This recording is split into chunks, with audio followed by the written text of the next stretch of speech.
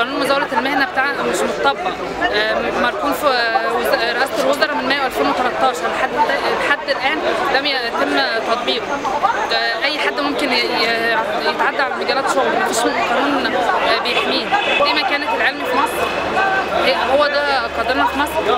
كلية العلوم في الخارج هي كلية القمة وتسمى كلية قاعدة العلوم. هنا في مصر كلية مهمشة.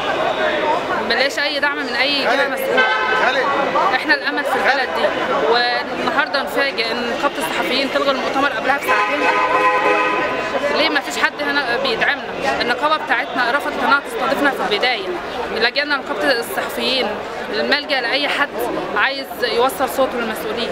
عندنا براءات اختراع هنا ما فيش في مصر يعني الأبحاث هنا في مصر كلها يعني مجرد أبحاث وبتتركن. ما فيش أبحاث بتطبق يعني ما فيش إنها الأبحاث مش بتطبق إنها تتحول لحاجة فعلية.